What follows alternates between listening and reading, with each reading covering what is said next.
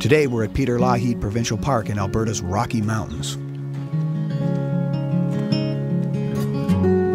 We've come 45 kilometers south of the town of Canmore on the Spray Lakes Road paint Mud Lake, which is at the trailhead for the Burstall Pass.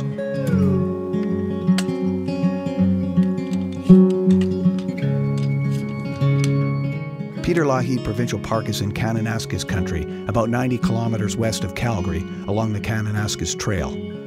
The area is named for the Kananaskis River, which was named by John Palliser in 1858 after a Cree acquaintance.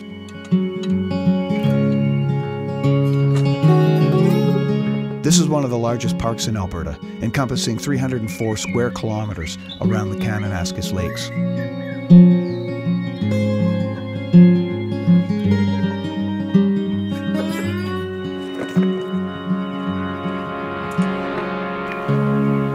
The park provides amenities for camping and fishing, along with trails for hiking, mountain biking, horseback riding, and cross country skiing.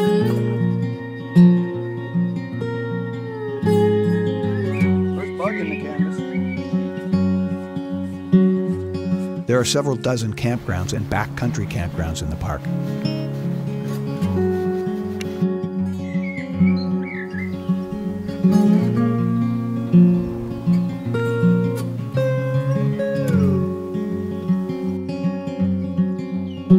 Some of the most popular backpacking trips in Kananaskis are found in Peter Lougheed Provincial Park. The Burstall Pass hike offers great views from the top, with lots of opportunities for further hiking and scrambling.